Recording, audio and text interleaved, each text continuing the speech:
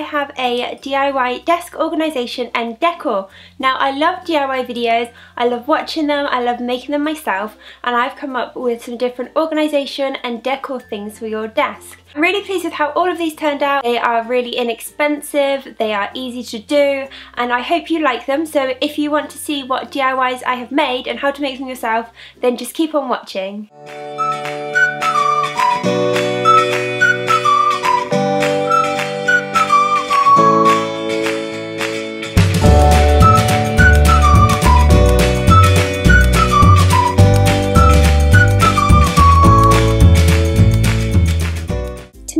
Makeup brush holder you will need a candle jar and some bath salts. What you need to do is tip the bath salts into the candle jar just under halfway. I got these Radox bath salts because they're a really nice blue colour and I thought they looked really pretty. Just give it a little shake to even it out. Then you can pop in your makeup brushes and it's done! Super quick and easy.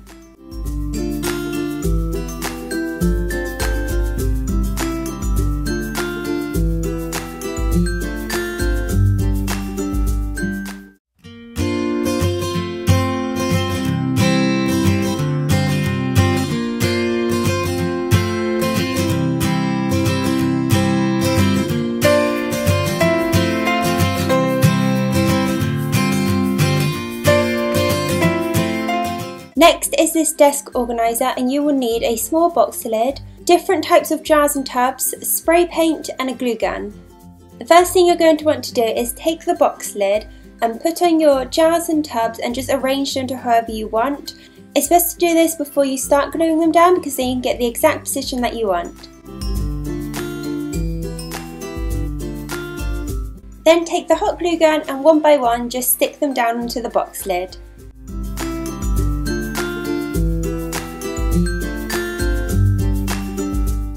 When they have dried, you then want to spray paint them. Now I've done this outside because spray paint smells very strong and I done it in a gold but you can pick any colour that you like.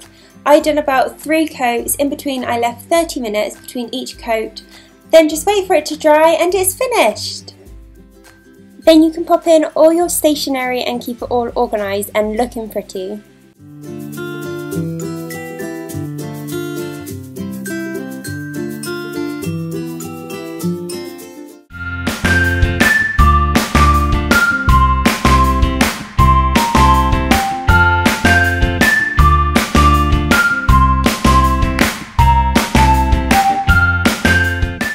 Last DIY is a collage. Now I've used photographs and prints. Now if you go into Google and just type in free wall printables and then go to images, there are loads of free ones that you can just print out yourself. So when you found one that you really like, you can just print it out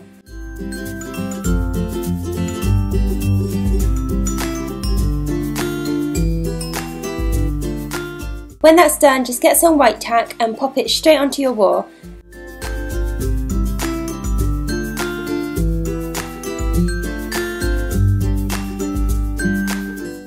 On my wall I have a mixture of prints and photographs. I love these Polaroid photographs, I think they are so cute and there's a lot of places that do these really inexpensive. And as for the prints, you can just print them yourself if you have a printer at home. You can also add bits that you have around the house, so this postcard is from my latest Birchbox and it was so cute I could not put it up on the wall.